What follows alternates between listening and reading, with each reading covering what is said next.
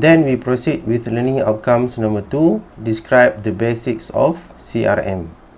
Typically, an organization can find its most valuable customers by using a formula that the industry insider call as RFM, recency, frequency and monetary. In other words, an organization must track number one, how recently a customer purchased the item. Number two, how frequently a customer purchase items. And number three, how much a customer spend on each purchase.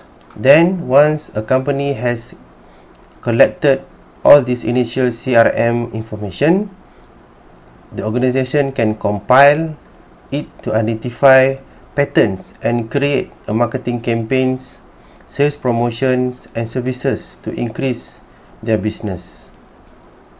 The CRM technologies that we're going to discuss in this chapter can help an organization to find answers to RFM and other questions such as who are their best customers and which of their products are the most profitable.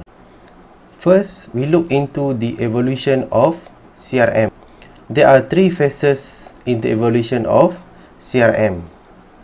Number one is reporting, number two is analyzing, and number three is predicting.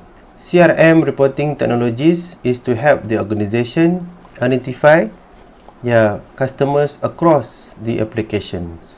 With this information, CRM analysis technologies will help the organizations to segment their customers, membahagikan customers into a different categories such as who is the best and the worst customers.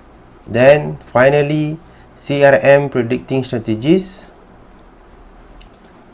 Then finally CRM predicting technologies will help the organization make prediction regarding customer behavior such as which customers are at the risk of leaving the organizations. Now we look into the difference between operational and analytical CRM. Both operational and analytical CRM technologies can assist an organization in customer reporting, customer analysis and also customer prediction.